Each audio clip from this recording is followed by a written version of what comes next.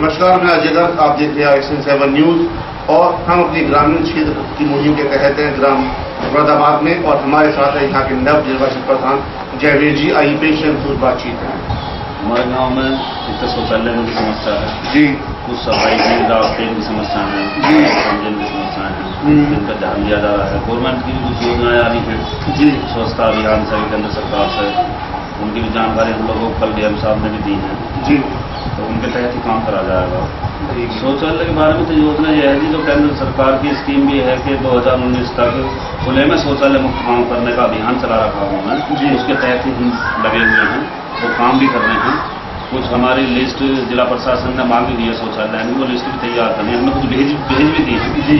और जैसे जैसे गवर्नमेंट का पैसा आता रहेगा ऐसे ऐसे ही शौचालय बनवाएँगे गाँव में।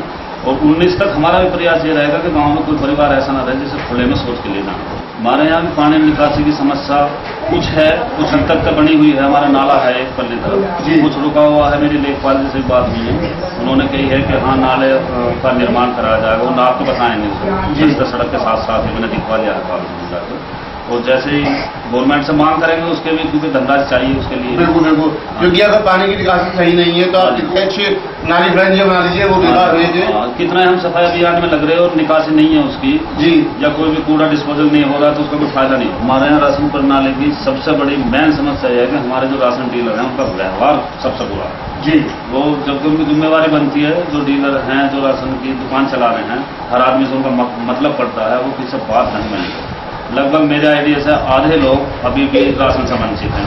मैंने तो जो लोग मेरे पास आते मैंने तो कह दी भाई मैं प्रधान होने के नाते तुम्हारी हर समस्या में जो भी मेरे से मदद होगी उसके लिए तैयार हूँ। लेकिन मैं राशन कार्ड बनाने का अधिकार मेरे पास नहीं है। जी, बिल्कुल। इसके लिए आपको संबंधित अधिकारी के पास जाना पड़ेगा।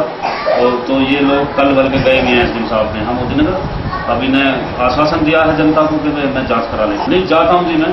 स्कूल में टीचर्स को भी देख रहा जी। हूँ और उनसे बात भी करी है। मिड डे मील भी देखा है।